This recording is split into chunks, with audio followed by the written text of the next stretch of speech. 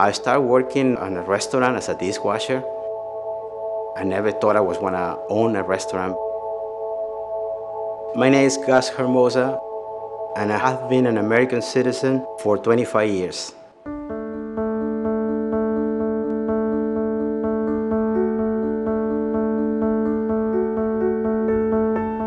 I was born in Lima, Peru.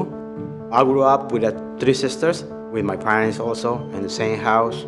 Everything we do together, we never separated.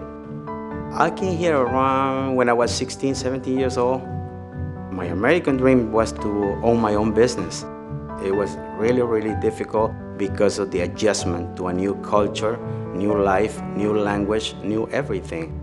It was really, really sad because I really want to be around my family. I talked to my mom. My mom says to me, I don't want you to come back. I want you to stay there.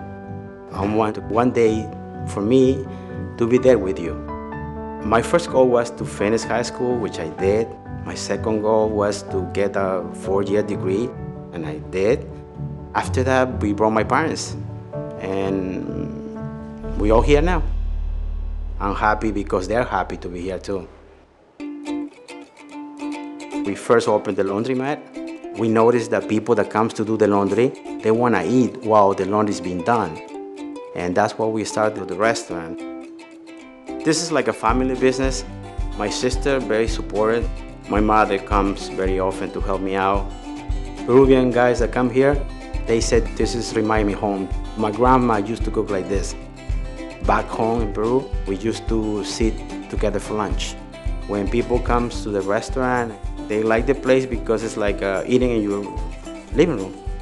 People start looking like they back home and they eating at home with their family and watching TV. Pretty much what we do back in Peru. The day that I became a citizen, it was so emotional to be in front of a judge, in front of the American flag. It's like getting a new birth certificate. When I see the Statue of Liberty, I see the freedom of the country, the opportunities. It was very emotional to see that.